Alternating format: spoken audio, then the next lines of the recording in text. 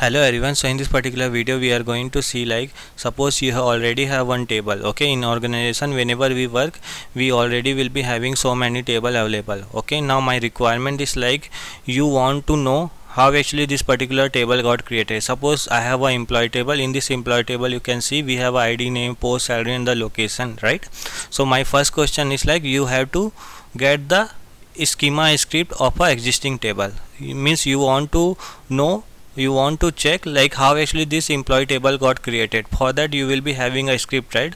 Like this this kind of the script like the create table statement for the employee table where you have used id integer not null this kind of the constraint also you have used right? So how actually this particular employee table got created that actually you want to know. That is my first question. And the second question is like you want to know how actually this employee table got created as well as the data. For data like you can see we have uh, so many data.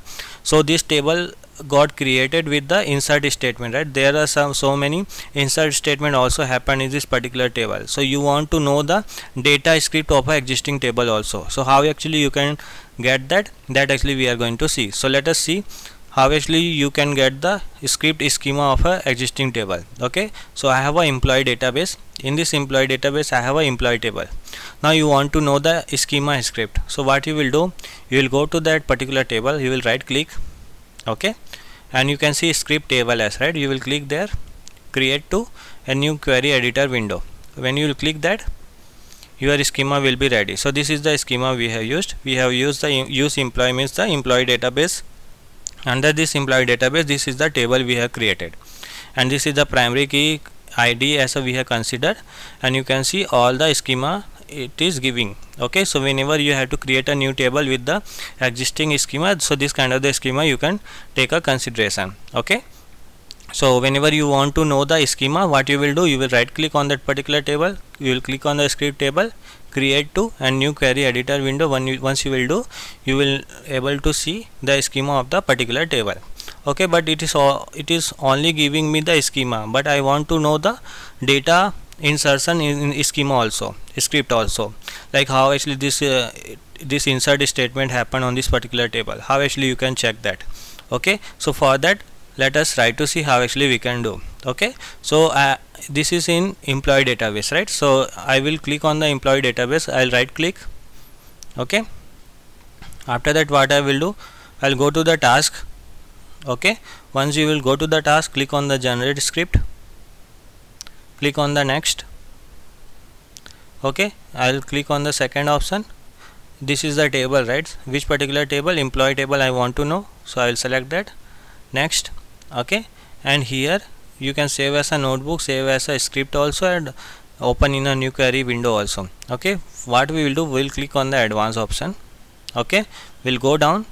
We have to select one option. You can see type of a data to script. It is a schema only. We have to change it to the schema as, as well as the data. Once you click on the schema and the data click on the ok.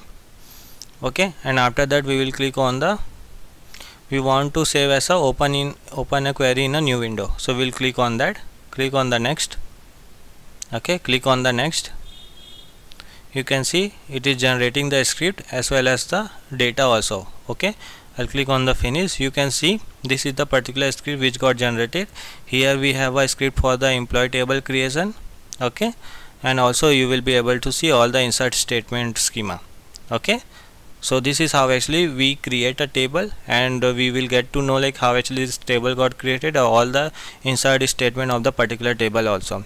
So what we had done we had to click on the particular database click on the task okay click on the generate script click on the next okay. And after that you have to select particular table you have to select second option click on the particular table click on that click on the next okay. And after that in advanced option you have to click on the uh, type of data to script schema only or the schema as well as data. Once you click on that this will be generated. So this is how we will do. Okay? I hope you got it. Yeah that's it in this video. Thank you